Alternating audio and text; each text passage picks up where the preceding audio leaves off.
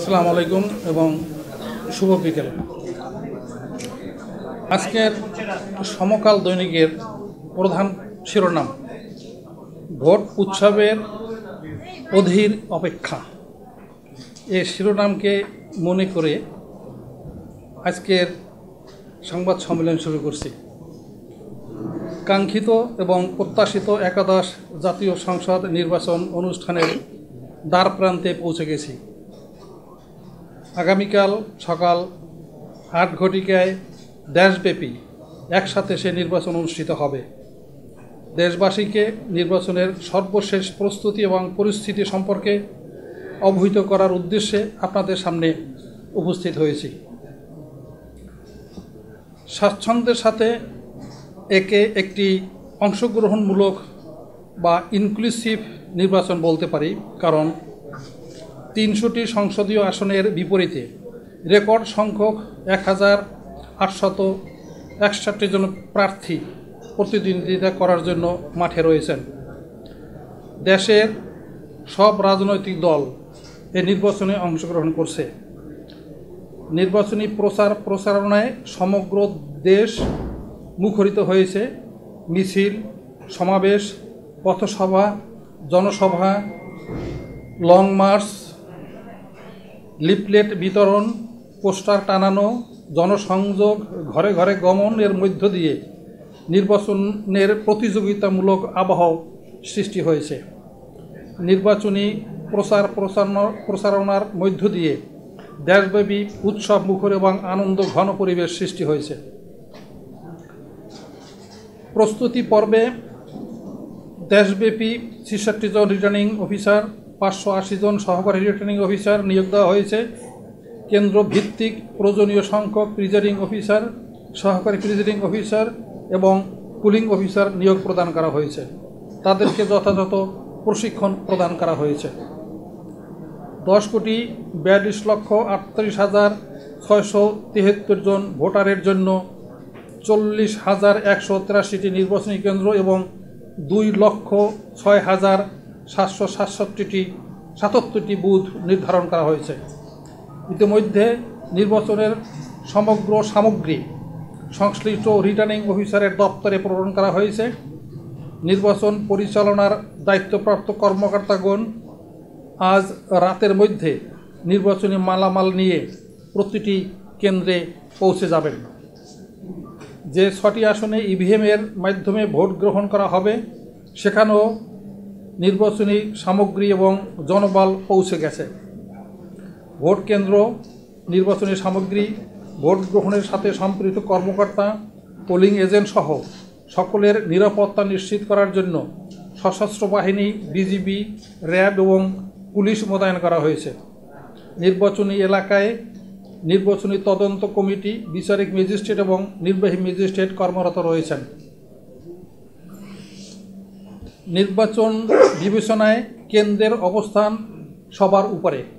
কারণ কেন্দ্রগুলোর সাফল্যের উপর ভর করে গোটা নির্বাচনের সাফল্য নির্ভর করে। সেখানে কর্তব্যরত থাকেন প্রিজাইডিং অফিসার, সহকারী presiding officer, polling officer, polling agent, সাংবাদিক, পর্যবেক্ষক এবং আইন শৃঙ্খলা বাহিনীর সদস্যগণ। তাদের প্রত্যেককে সুনির্দিষ্ট দায়িত্ব পালন করে থাকেন। প্রত্যেকের উদ্দেশ্য থাকে কেন্দ্রের সুষ্ঠু নির্বাচনী পরিবেশ সমুন্নত রাখা। প্রিজাইডিং অফিসার আজ রাতের মধ্যে নির্বাচনী সরঞ্জাম নিয়ে কেন্দ্রে পৌঁছে যাবেন পুলিশ এবং আনসার প্রহরায় নির্বাচনী মালামাল, মালামালের নিরাপত্তা নিশ্চিত করবেন। প্রিজাইডিং অফিসার আগামীকাল সকাল সাত ঘটিকার মধ্যে নির্বাচন পরিচালনার কাজ শুরু করবেন। প্রথমে তিনি তার সহযোগীদের মধ্যে দায়িত্ব বন্টন করে দেবেন। নির্বাচন শুরু করার পূর্বে তিনি ব্যালট বাক্স খুলে প্রার্থীদের এজেন্ট এবং অন্যান্য সকলের উপস্থিতিতে উপস্থিতিতে সকলকে নির্বা ব্যালট ব্যালট বক্স খালি রয়েছে কি না তা দেখিয়ে নেবেন। তারপর বাক্সটি তালাবদ্ধ করবেন এবং সকাল আট ঘটি, আট ঘটিকা থেকে নির্বাচনী, নির্বাচন কার্য শুরু করবেন। ভোট গ্রহণ শুরু করবেন। নির্বাচন শেষ হলে এজেন্ট, সাংবাদিক এবং পর্যবেক্ষকগণের সামনে কেন্দ্রের ব্যালট গণনার কাজ শুরু করবেন। কোনো অবস্থায় নির্বাচনী কেন্দ্রের বাইরে ব্যালট গণ- গণনা করা যাবে না। ফলাফলের একটি তালিকা অবশ্যই প্রত্যেক এজেন্টকে সরবরাহ করতে হবে। আজকের ডেইলি স্টার পত্রিকায় পড়লাম যে প্রার্থীর এজেন্টগণকে নানাভাবে হয়রানি করা হচ্ছে, এটা কাম্য নয়। কোনো এজেন্টের বিরুদ্ধে সুনির্দিষ্ট কোনো ফৌজদারি অভিযোগ না থাকলে পুলিশকে, পুলিশ কাউকে গ্রেপ্তার বা হয়রানি করবে না। নির্বাচনী দায়িত্ব পালনে তাদেরকে পূর্ণ নিরাপত্তা দিতে হবে। প্রার্থীর এজেন্টগুণের দায়িত্ব অনেক। তারা প্রার্থীর প্রতিনিধিত্ব করেন। তারা প্রার্থীর স্বার্থ, স্বার্থে কাজ করেন। নির্বাচনের ফলাফল হাতে না পাওয়া পর্যন্ত কোনো অবস্থায় তারা কেন্দ্র ত্যাগ করবেন না। কেহ যদি অবৈধভাবে এজেন্টকে কক্ষ ত্যাগ করতে বলে, তখন ম্যাজিস্ট্রেট বা আইন শৃঙ্খলা বাহিনীর সদস্যগণের সহযোগিতা নিতে হবে। গণমাধ্যম কর্মীগণ নির্বাচনের বড় দায়িত্ব পালন করেন। তাদের মাধ্যমে দেশবাসী নির্বাচনের সঠিক চিত্র দেখতে পায়। সংবাদ সংগ্রহ এবং পরিবেশনকালে নির্বাচনের দায়িত্বে থাকা কর্মকর্তাগণ গণের স্বাভাবিক কাজ যাতে ব্যাহত না হয়, তার প্রতি তাদেরকে খেয়াল রাখতে হবে। নির্বাচনের দায়িত্বে নিয়োজিত সকল কর্মকর্তা কর্মচারীর প্রতি আহ্বান করব। দলমতের ঊর্ধ্বে থেকে সম্পূর্ণ নিরপেক্ষ দৃষ্টিভঙ্গি নিয়ে আপনাদের উপর অর্পিত পবিত্র দায়িত্ব পালন করবেন। আপনাদের কারও কারণে নির্বাচন যেন প্রশ্নবিদ্ধ না হয়, আপনাদের কারও কারণে কোনো প্রার্থী যেন ক্ষতিগ্রস্ত না হয় এবং তারা যেন ন্যায্য অধিকার থেকে বঞ্চিত না হন। রাজনৈতিক দল, প্রার্থী, তাদের সমর্থক কলা কুশলীগণকে বারবার অনুরোধ করেছি, তারা যেন নির্বাচনী আচরণ বিধি মেনে চলেন, ধৈর্য এবং সহনশীলতার পরিচয় দেন, একে অপরের প্রতি সম্মান প্রদর্শন করেন, নির্বাচনী প্রতিযোগিতা যেন সহিংসতায় পরিণত না হয়। কিন্তু দুঃখের সাথে লক্ষ্য করেছি, তবুও নির্বাচনী সহিংসতার ঘটনা ঘটেছে, তাতে জানমালের ক্ষয়ক্ষতি হয়েছে, হতাহতের ঘটনা ঘটেছে, সুষ্ঠু পরিবেশ ব্যাহত হয়েছে, এগুলো আমাদের কাম্য ছিল না। সহিংসতার কারণে যেখানে ফৌজদারি অপরাধ সংঘটিত হয়েছে, সেখানে নিরপেক্ষ তদন্ত করে দায়ী ব্যক্তিদেরকে বিচারের সামনে হাজির করার জন্য সংশ্লিষ্ট কর্তৃপক্ষকে নির্দেশ দিচ্ছি। একই সাথে আগামীকালকে নির্বাচনের সকলের জন্য নিরাপদ পরিবেশ নিশ্চিত করার জন্য আইন শৃঙ্খলা বাহিনীর সর্বস্তরের সদস্যগণকে নির্দেশ দিচ্ছি। সহিংস অথবা নাশতামু, নাশকতামূলক অবস্থার সৃষ্টি হলে তা কঠোর হাতে দমন করার জন্য আইন শৃঙ্খলা রক্ষাকারী বাহিনীকে নির্দেশ দিচ্ছি। অবৈধভাবে কোনো মহল, ভোট কেন্দ্রে অরাজকর পরিস্থিতির সৃষ্টি করার চেষ্টা করলে দায়িত্বরত আইন শৃঙ্খলা রক্ষাকারী বাহিনী অবশ্যই তা নিয়ন্ত্রণ করবে।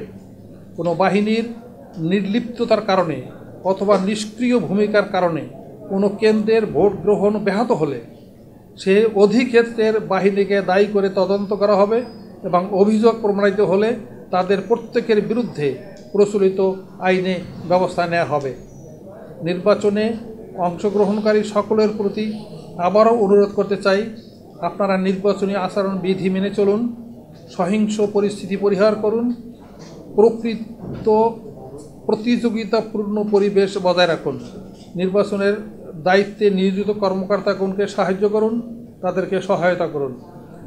ভোটার সাধারণের কাছে অনুরোধ করি, আপনারা ভোট, আপনার ভোট অতি মূল্যবান। কোনো রকম প্রলোভন, প্ররোচনা, প্রভাব বা ভয় ভীতির কাছে নথি স্বীকার করবেন না। স্বাধীনভাবে পছন্দের প্রার্থীকে ভোট দেবেন। আমাদের সকলের সম্মিলিত প্রচেষ্টায় সফলভাবে নির্বাচন সম্পন্ন হবে ইনশাল্লাহ। এ সুযোগে আমি এবং মাননীয় কমিশন কমিশনার বৃন্দ সচিবালয়ের এবং মাঠ পর্যায়ের সকল কর্মকর্তা কর্মচারীকে তাদের অক্লান্ত পরিশ্রমের জন্য ধন্যবাদ দেই। নির্বাচনের সাথে সংশ্লিষ্ট সকল রিটার্নিং অফিসার এবং অন্যান্যদেরকে ধন্যবাদ জ্ঞাপন করি। আইন শৃঙ্খলা রক্ষাকারী বাহিনী সকল, সকলকে ধন্যবাদ। এবং সাংবাদিকবৃন্দ যারা আমাদের প্রয়াস এবং প্রচেষ্টা তাৎক্ষণিকভাবে দেশবাসীর কাছে পৌঁছে দিয়েছেন, তাদের প্রতি আন্তরিকতা। আল্লাহ হাফেজ, সকলকে ধন্যবাদ।